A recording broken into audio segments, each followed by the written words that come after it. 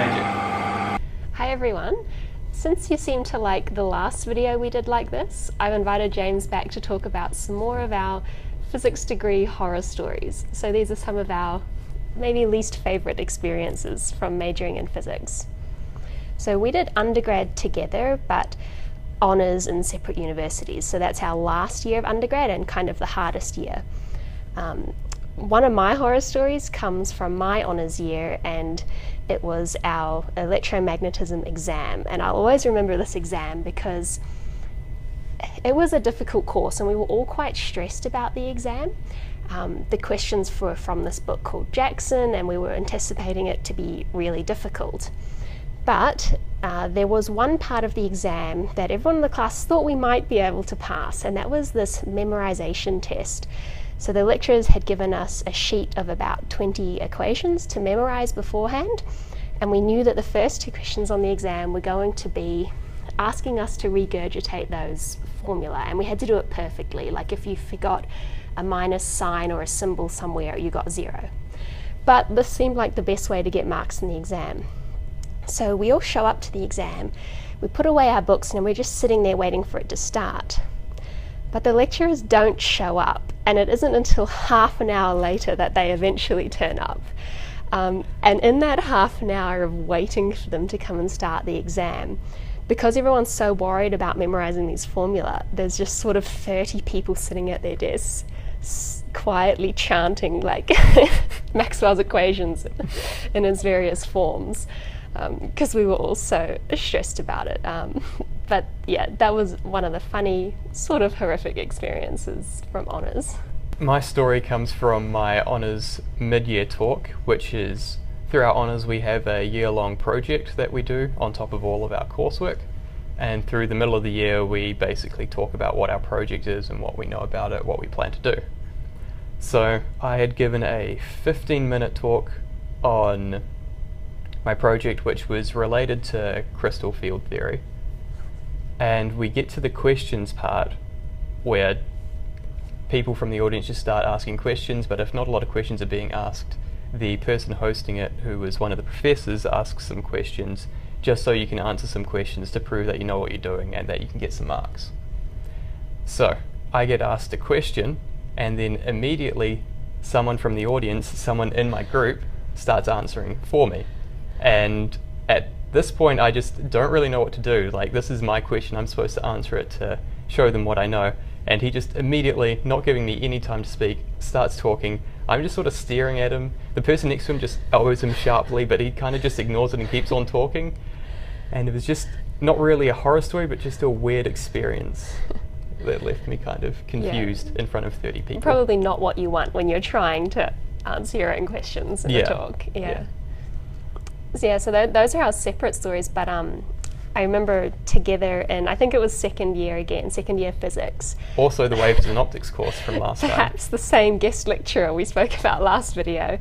Um, we're having a test, and so we were like in, in a tutorial room and we were all silently working on our waves and optics test.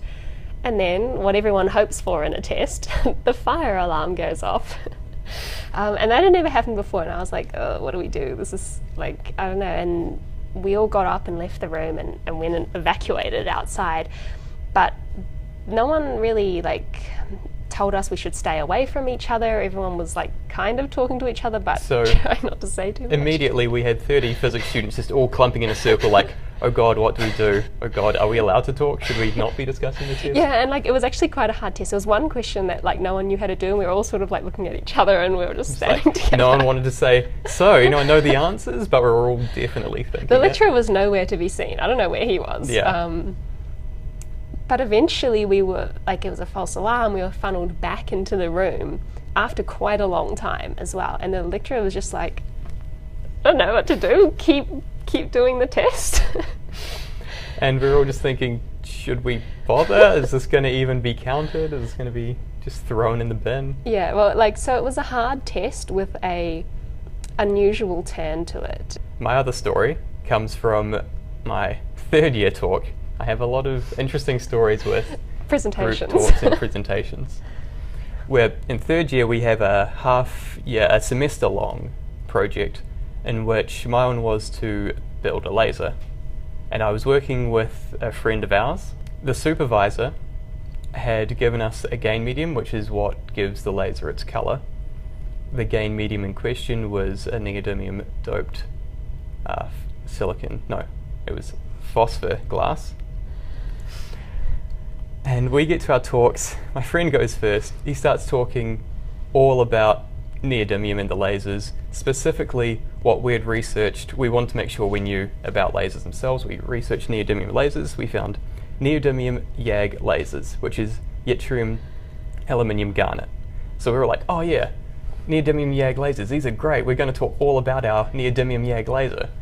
And then friend gets to the end of his talk our supervisor just sort of puts up his hand and says, Hi, yeah, so what laser are you using? Because I'm pretty sure I gave you neodymium in phosphor glass.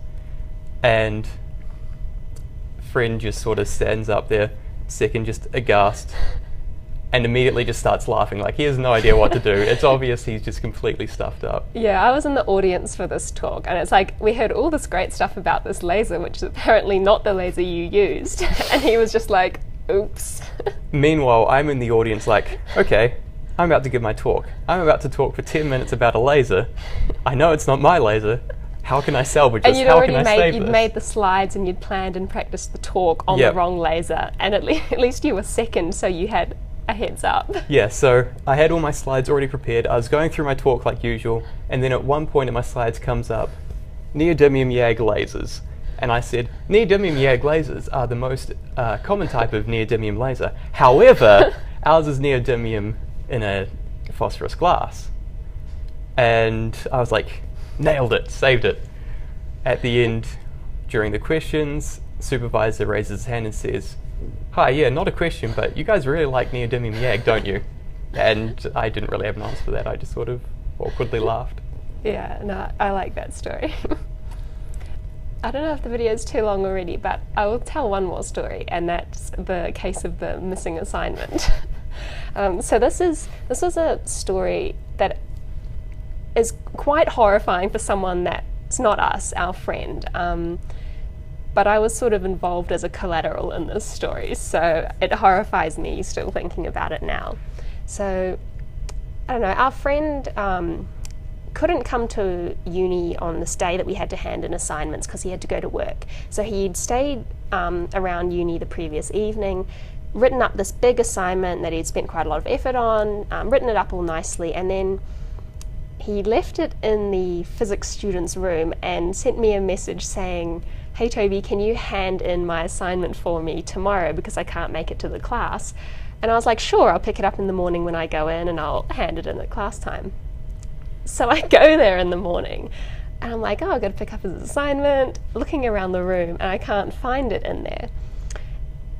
And so I sent a text that I knew would cause widespread panic. That was to him saying, Where exactly did you leave the assignment? um, and he was telling me where exactly he left it, and it wasn't there. And so he was getting panicked. Um, and he asked me to look all around because he was at work at the time. And he's like asked me to look in the recycling bin and the bins outside, and I was like looking everywhere for this assignment because I knew like we had to hand them in. Um, and I think eventually what we guessed had happened was the cleaners had come in throughout the night or early in the morning and they pick up any loose paper that's just like on a desk, on a chair, anywhere around, and they recycle it and take it off with them. so that assignment apparently got recycled, um, which was tragic, and I think he had to um, talk to the lecturer and, and end up doing it all over again, which was pretty sad. But um, yeah, top tip from that story is don't leave your assignments in reach of the cleaners. yeah. Yeah. All right, thanks, James. Um, and I hope you enjoyed listening to some of those stories.